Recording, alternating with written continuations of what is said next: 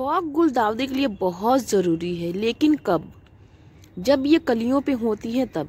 Bloom होने के बाद फॉग की जो है, इनको कोई ज़रूरत नहीं होती है। उल्टा क्या है? असर जो है, इन पे बुरा पड़ता है। वो किस, कैसे? तो जैसे जैसे देखिए, फॉग इसमें पे पड़े हुए हैं फूलों पे, और ये पूरा पानी जो है पेडल के अंदर जाएगा, और जिससे क्या है, पौधे जो है, बहुत जल्दी जो है स्पेंड होने शुरू हो जाएँगे। कुछ इस तरीके से देखिए। पूरा फॉग आज की डेट में बहुत ज़्यादा जो है फॉगिंग हुई थी। अभी टाइम हो रहा है नाइन ए एम अभी भी जो है है थोड़ी बहुत। देखिए तो जब ये गुलदाउदी कलियों पे होते हैं ना, तब फॉग की बहुत ज़रूरत होती है और कलियाँ भी जो है बहुत हेल्दी जो है ब्लूम होती हैं। लेकिन फूल खिलने के बाद वही जो है, इनसे हमें बचाना पड़ता है। अब देखिए, मेरे क्रिसेंथीमम की बात करें ब्लूमिंग की तो अप्रोक्स वन महीने से बहुत ज़्यादा जो है ऊपर जा रहा है हफ़्ता। अब ये धीरे धीरे क्या है ख़राब हो रहे हैं डिसकलर हो रहे हैं। पहले कितने अच्छे तरीके से कलर था इनका ब्राइट बिल्कुल, अब धीरे धीरे जो है इनका कलर डल हो रहा है। अब देखिए, ये तो बिल्कुल ही वाइट हो गया है। इनका जो मेन कलर था, ये था लाइलक पर्पल कलर कुछ इस तरीके से था।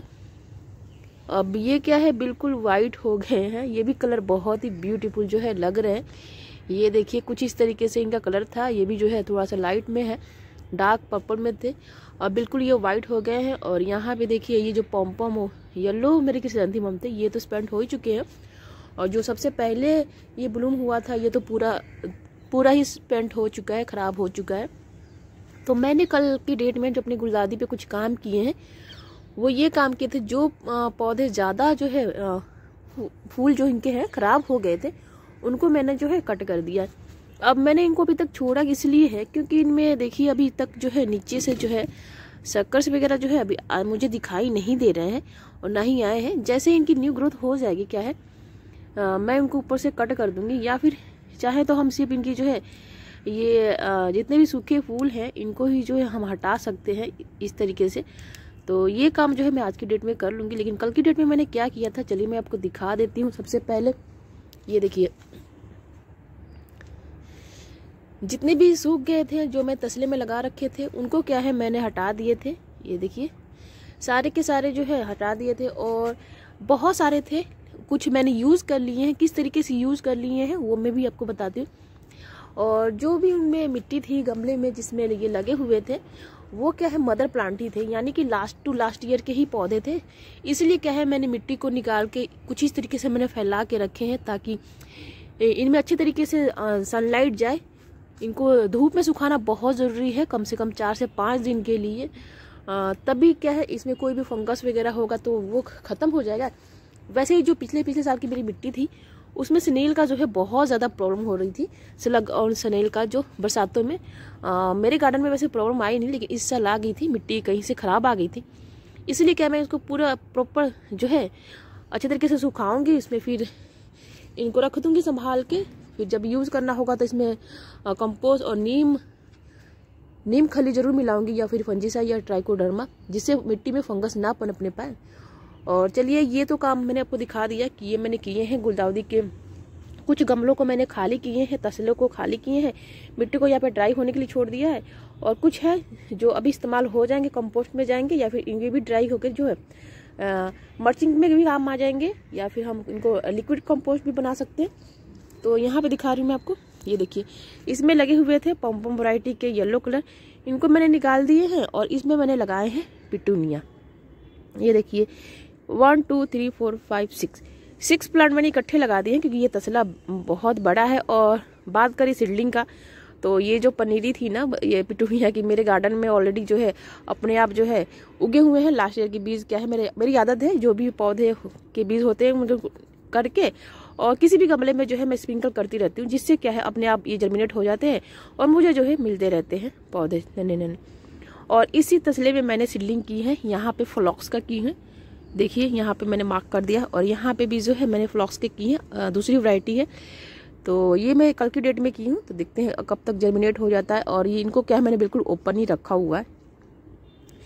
और इसमें से निकाल के मैंने इसमें दो पौधे लगाए हैं, एक तो लगाए हैं डॉग फ्लावर और ये भी जो है मैंने बीज से लगाए हैं।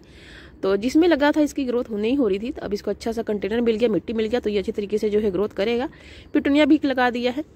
और इसमें भी डॉक फ्लावर लगाया है। और इसमें देखिए, ये है घास है। और पता क्या है, इसकी घास की जो बनावट है ना, ये जब फैलता है, मुझे ना बहुत ही ब्यूटीफुल लगता है। इसीलिए क्या है, मैंने इसको जो है कंटेनर दिया है स्पेशल। वैसे इसको लगाने के लिए कोई रिक्वायरमेंट नहीं है। लेकिन जो ब्यूटी देखने में अच्छी लगती है ना तो मैंने इनको जो है लगा दिया। तो आप समझिए, घास को भी लगा रखा है। तो हाँ जी भाई, घास को भी मैंने लगा रखा है। और इसमें फूल भी जो है आते और इसे गाजर घास बोलते हैं मेरे ख्याल से। और इसमें भी क्या है, मैंने पिटूनिया के जो है पौधे, वही पाँच छः पौधे इनमें भी जो है लगा दिए हैं। देखिए, कुछ इस तरीके से। और वाइट वाले मैरीगोल्ड के जो पेटल है उनको देखिए, कुछ इस तरीके से मैंने फैला दिए हैं। ऐसे ही मैं करती हूँ और अपने आप जो है पौधे मेरे को मिलते रहते हैं। और मैंने इनको ढके नहीं है लेकिन फिर भी ये जर्मिनेट हो जाते हैं मैरीगोल्ड कितने हैं, क्योंकि येलो जो है येलो मेरे लास्ट ईयर के जो पोर्चुला का लास्ट ईयर बोली पोर्चुला के जो पौधे हैं ना, इसी में जो है ये ग्रो कर गया था। ये तो ये देखिए फ्री का तो है। और इसकी जब फ़र्स्ट ब्लूमिंग हुई थी, बहुत बड़े बड़े हुई थी तो इसलिए क्या है, मैंने इनको जो है लगा दिए हैं ताकि ये कलर जो है मेरे पास रहे, हमेशा रहे। तो इस तरीके से क्या है, आप किसी भी बीज को तोड़ के अपने किसी भी गमले में फैलाइए, आपको फ्री में जो है पौधे रेडी मिलेंगे। और दूसरा देखिए, ये ये भी लास्ट टू लास्ट ईयर का है। तो इसे मैंने क्या करना है इसको तो मैंने देखिए काट के हटा दिया है, लेकिन जो ये फूल जोड़े अच्छे हैं, देखिए ये मेन कलर है, जो व्हाइट हो गया अभी तो। तो अब देख रहे हैं, इसमें दोबारा से कलियाँ आ रही हैं और ये कलियाँ ब्लूम होगी लास्ट फेब में जाके। तो इसमें क्या है, मैंने कल की डेट में प्रून कर दिए हैं। अभी इनमें खाद देना बाकी है। खाद देंगे तभी ये प्रक्रिया होगा।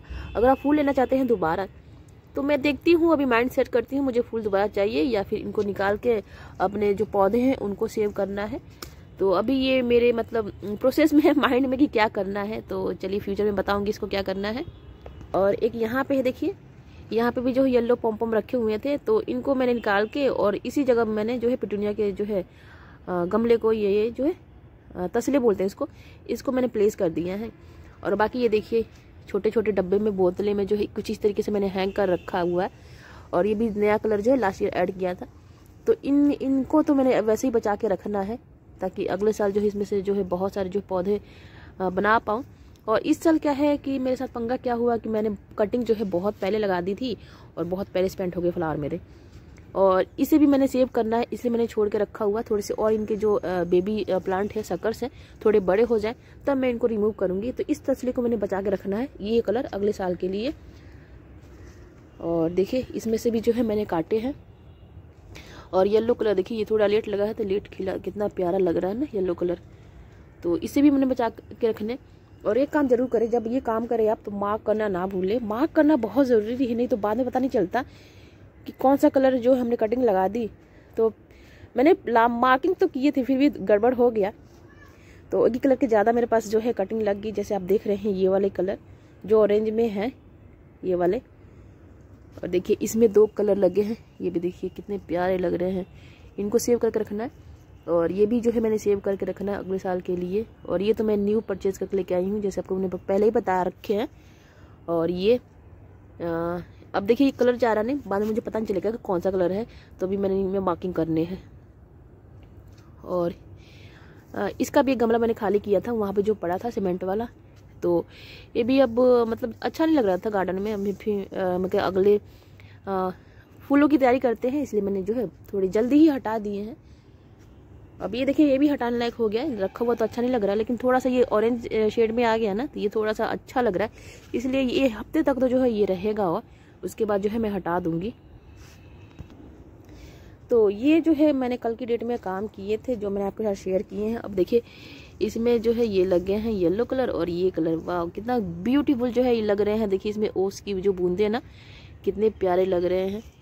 और पिटुनिया का देखिए बात करें तो पिटुनिया जो है इसे मैंने पहले बहुत जल्दी जो है इस पर ट्रांसप्लांट कर दिए थे, जिसकी वजह से ये जो है कलियाँ जो है, अभी ये दो दिन में ब्लूम हो जाएँगी वाइट कलर की हैं। अब जैसे देखिए मैंने आपको दिखाया कि मेरे पास जो है ऑलरेडी इतने सारे जो है पौधे उगे हुए हैं। और देखिए अभी भी नन्हे नन्हे पौधे कितने सारे पिटुनिया के। तो बताइए कितने ज़्यादा पौधे जो है बन जाएँगे? ये देखिए छोटे छोटे अभी भी जर्मिनेट हो रहे हैं। ये ये मैंने लगाए नहीं बीज अपने आप उगे हुए हैं। अब देखिए गेंदा के मैंने यहाँ फैलाए हुए हैं। अब देखिए सारे के सारे उगे हैं। तो बीज लगाने के लिए क्या है? किसी अलग से हम्म, गमले की रिक्वायरमेंट नहीं है। मैं जिस मर्ज़ी गमले में हो मैं उसमें फेंक देती हूँ स्प्रिंकल करती रहती हूँ और ये उगाते हैं। और देखिए इसमें भी जो है मैरी गोल्ड के आ, कोई कलर जो है मैंने इसमें बिछाए हैं फेंके हैं लगाए हैं ये भी हो गया। अभी अभी देखिए फूल थोड़ा दिन में जो है ख़राब हो जाएगा, इसको भी निकाल के इसमें मैरी गोल्ड ही लगा दूँगी। और बाकी ये देखिए, वेलवेट बिन बिन्स बहुत जल्दी बनने वाले हैं।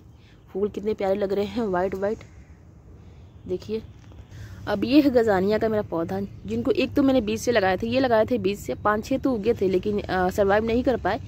एक ही बचा तो एक मैंने लगा दिया, दो ये नर्सरी से परचेज करके लेके आए थे, इसी कंडीशन में। ये खिलता है, लेकिन अब क्या है? थोड़ी सी इनकी हालत ख़राब है, देखिए। अब ये धीरे धीरे सेटल हो जाएँगे तो अच्छे तरीके से ब्लूम होंगे। और जो भी इसके स्पेंड फ्लावर थे ना, उनको निकाल के मैंने इधर ही देखिए। बिखेर दिया है। अगर जर्मिनेट होना होगा तो हो जाएँगे, क्योंकि मेच्योर थे नहीं है अब इधर भी देखिए, पिटुनिया के इतने सारे सीडलिंग बचे हैं। ये वाइट वाले हैं। तो जितने होना था ट्रांसप्लांट मैंने कर दिए हैं। बाकी इसमें बच गए हैं। और ये देखिए जो बैग होते हैं हमारे कैरी बैग कैरी बैग बोली सूट केस वाले बैग होते हैं, इनमें मैंने रखा हुआ है बीजों को लगाने के लिए, देखिए। अब इसमें चिल्ली के मैंने बीज लगाए हैं, ये भी अच्छे तरीके से जर्मिनेट हो गए अब इनको हम निकाल कर ट्रांसप्लांट कर सकते हैं।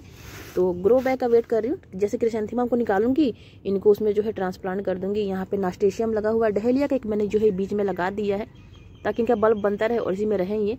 और ये अगेन ये घास वाला जो है, घास वाले की बात करेंगे कि मैंने बीज बजा के रखे थे, ताकि मैं उगा पाऊँ। और नास्टेशियम है और ये देखिए प्याज के दो तीन जो है मैंने लगा दिए हैं और ये जो जाफरी वैरायटी के सीडलिंग की थी, वो यहाँ पे ऑलरेडी है। इसमें से निकाल के और लगाने हैं मैंने, बाकी तो मैंने बोतलों में जो है लगा रखे हैं। और करेले की जो है ये बेल देखिए, अपने आप उगी हैं। अब ये इतनी चढ़ रही हैं, ये पता नहीं आई थिंक ये फ्रूटिंग करेंगी कि नहीं करेंगी बट लगा हुआ है, लग देखते हैं। तो यहाँ पे देखिए, डहेलिया के जो फेस है, सन की तरफ़ है, देखिए। अभी आफ्टरनून में हमारे इधर साइड में आ जाएगा, बीच में सेंटर में आ जाएगा। अभी सन ईस्ट से निकलते उधर से फेस जैसे उधर है। तो डहलिया भी के फूल भी जो है, सनफ्लावर की तरह जो है रोटेट होते रहते हैं। तो बस दोस्तों, ये था अपडेट मेरा कल के गार्डन का। आई होप मेरा वीडियो आपको यूजफुल लगे तो आप भी फटाफट अपनी क्रिसेंथिमा में वर्क कर लीजिए। गमले को फ्री करके नए पौधे लगाइए, ताकि गार्डन जो है, हमेशा फूलों से जो है, भरा रहे। Bye bye take care.